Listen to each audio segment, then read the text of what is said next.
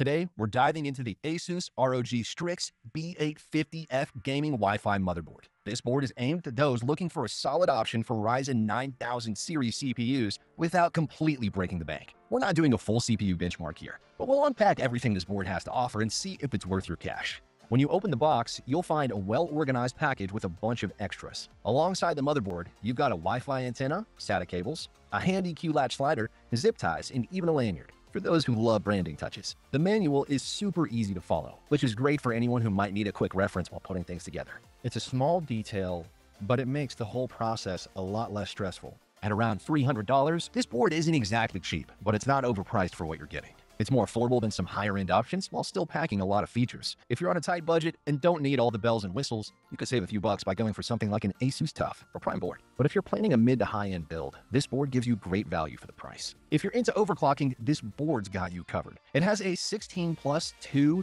plus 2 power stage setup, which means it's more than capable of handling high-end CPUs like the Ryzen 9800X3D and possibly even the 9900X3D when that gets released. With Precision Boost Overdrive, you can let the board take care of overclocking for you. It'll automatically optimize performance without needing you to tweak settings manually. For most users, that's a big win. The board supports DDR5 memory with speeds of up to 8,000 megatransfers per second which is plenty fast. It also comes with AEMP and Expo profiles to make configuring your memory as simple as clicking a button. For storage, you've got four M.2 slots. The top one is PCIe Gen 5, delivering insane speeds, and the other three are Gen 4. The best part? Asus has included their Q-Latch system, which means no tiny screws to fiddle with. Just snap in your M.2 drives, and you're good to go. The rear I.O. panel is packed with everything you'd expect. You get HDMI 2.1, DisplayPort 1.4, a mix of USB ports from 5 gigabits per second to 20 gigabits per second, and a fast Type-C port. For internet, you've got a 2.5 gigabits per second Ethernet port and Wi-Fi 7 for super fast, stable connections. The integrated I.O. shield makes installation easier, and little touches like a clear CMOS button and BIOS flashback feature are really handy if you're into tweaking your system. There are tons of useful onboard features here.